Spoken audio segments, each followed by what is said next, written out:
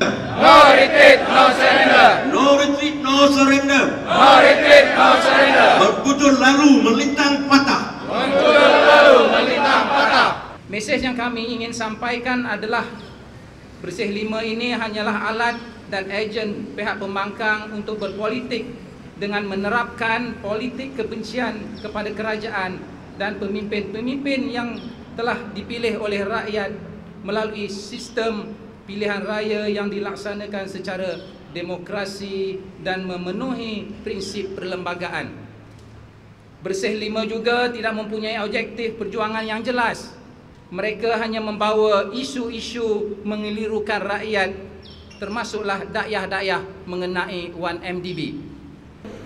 Ni bagi tahu budak Jamal tu cakap kat dia dia duk ingat dia seorang je Samsung. Samsung orang dia tak tengok lagi.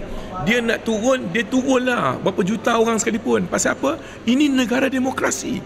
Kita tak pernah menyekat dia pun.